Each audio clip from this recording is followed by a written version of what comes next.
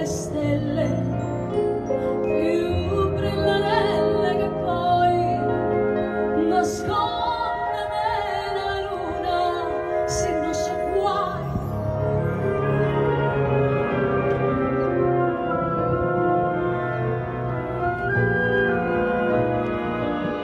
Non scordavi quasi